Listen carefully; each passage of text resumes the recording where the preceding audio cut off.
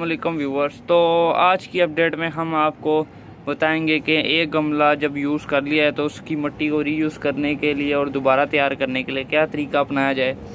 तो ये मिट्टी अभी भी काफ़ी बेहतर कंडीशन में अभी भी इसमें लगाया जा सकता है, मगर हम फिर भी इसमें प्रिपेयर दोबारा करके और बेहतर करके ताकि ये अच्छा प्रोडक्ट हमें दे प्रोडक्शन बेहतर हो इसकी। तो इसके लिए हम क्या करेंगे? पहले, सबसे पहले तो हमें ये गमला खाली कर लेना है। बाहर निकाल कर और उसकी मिट्टी को दोबारा से नरम कर देंगे हम और उसमें खाद ऐड करेंगे। तो पहले ये गमला मैं खाली कर कर आपको दिखाता हूँ, फिर आगे चलते हैं। तो ये पूरा मैंने उसका रूट बाउल मट्टी का सारा बाहर निकाल लिया है। ये पिछले पौधे की देखें, इसमें जड़ें बनी हुई हैं, नीचे तक गई हुई हैं। तो अब इसको हम तोड़ेंगे दोबारा, सारा मट्टी को। ये अभी भी नरम है। आसानी से हाथ से टूट रही है मट्टी। ये देखिए, अभी भी बड़ी बेहतरीन है। तो इतनी, ये देखिए इस तरफ़ किस तरह रूट्स सारी, ये देखिए। तो अच्छी मट्टी और नरम मट्टी का यही फ़ायदा होता है, जिससे पौधे की ग्रोथ अच्छी हो न्यूट्रिशनल मट्टी हो। और हमें जो आगे पौधा है, जो फल वाला पौधा है, कोई भी लगा रहे हैं इसमें तो उसकी भी प्रोडक्शन अच्छी मिले। तो ये देखिए, ये अच्छी मट्टी है, तभी ही ये, तभी ही सारी नीचे तक इसमें जड़ें फैल गई हैं, नरम मट्टी है। तो ये हमारी मट्टी खुल गई है सारी और इसमें अभी खाद डाल दी है। तो बेहतरीन मट्टी का यही फ़ायदा होता है। ये देखिए, सारी नीचे तक ये जड़ें बन गई हैं इसकी। इसका यही वजह है कि मट्टी पहले भी बड़ी बेहतरीन थी। तो फल वाला जो पौधा होता है, उसको ऐसी ही मट्टी की ज़रूरत होती है, जो न्यूट्रिशनल हो और काफ़ी जिसमें जड़ें फैलाने की गुंजाइश हो तो ऐसा ही मट्टी कामयाब रहती है और पौधे की प्रोडक्शन अच्छी मिलती है हमें। रिज़ल्ट अच्छा आता है। तो ये देखिए, ये सारी जड़ें अंदर तक बनी हुई हैं। तो अब हम इसको मिक्स करेंगे अच्छी तरीके से।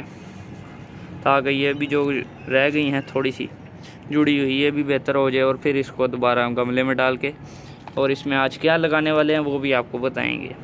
तो ये हमारी मट्टी हो गई है रेडी तो इसको सारा मैंने हाथ से ही मिक्स कर लिया है.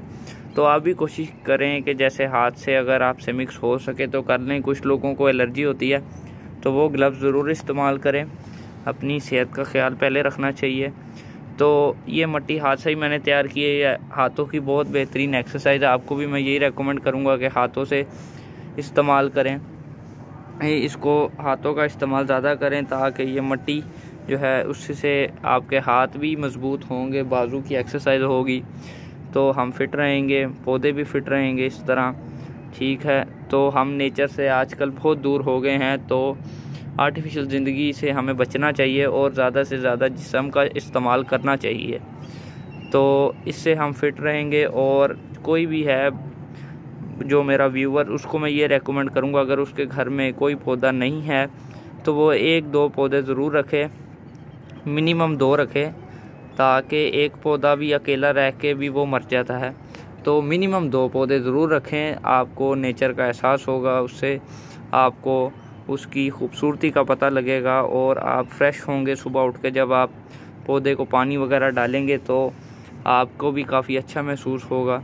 स्ट्रेस रिलीफ होता है पौधों के पास आने से, नेचर के पास बैठने से। तो ये तो खैर आपको मैंने बताना था और अब ये मट्टी तैयार हो गई है तो हम अब इसको गमले में दोबारा डालते हैं और फिर आपको बताते हैं आज हम इसमें लगाने के वाले हैं।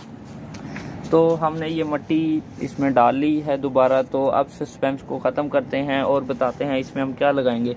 तो इसमें हम लगाने वाले हैं कैबिज जो हमने उसके नीचे वाले हिस्से से, जो उसकी स्टेम थी तक उससे ग्रो किया था, अब हम इसमें वो लगाएँगे। तो ये देखिए, जी हाँ ये उग चुकी है।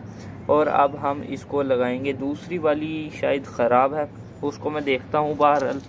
इसको हम इसमें लगाएँगे आज। तो इसको अब हम उसमें लगा देते हैं। ये देखिए इसकी रूट सिस्टम स्टार्ट हो चुका है सारा नीचे से। तो अब हम इसको इसमें लगा देते हैं ताकि ये हमारे पास बड़ी कैबिज बन जाए। और बहुत जल्द हमें इसका फ्लावर जो है वो खाने को मिल जाए। तो बस आपने इसके पत्तों का ख्याल रखना है कि वो बाहर रहें। बाकी सब ठीक है, खैर है। इसको हमेशा गमले के सेंटर में लगाना है, ताकि ये अपनी जड़ें चारों तरफ़ फैलाए और कैबिज का जब इस कैबिज फैमिली का कोई भी पौधा है, उसको आपने हमेशा गमले के सेंटर में लगाना है। और जितना बड़ा गमला दे सकें तो ज़रूर उसे दें, क्योंकि इनको अपना फैलाव करने के लिए काफ़ी जगह चाहिए होती है और इसमें से चूँकि ये घर में इस्तेमाल हुई है तो हम इसको साथ साथ इसके पत्ते उतार के खा भी सकते हैं।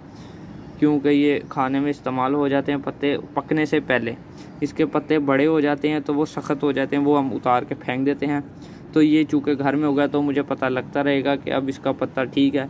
खाने के काबिल तो मैं उतार के इस्तेमाल करता रहूँगा, आप भी करिए। मगर जब ये बड़ी हो जाएगी तब अभी कुछ नहीं करना। अभी बस इसको हम पानी डाल के तो रख देंगे। तो please like share and subscribe my YouTube channel thanks for watching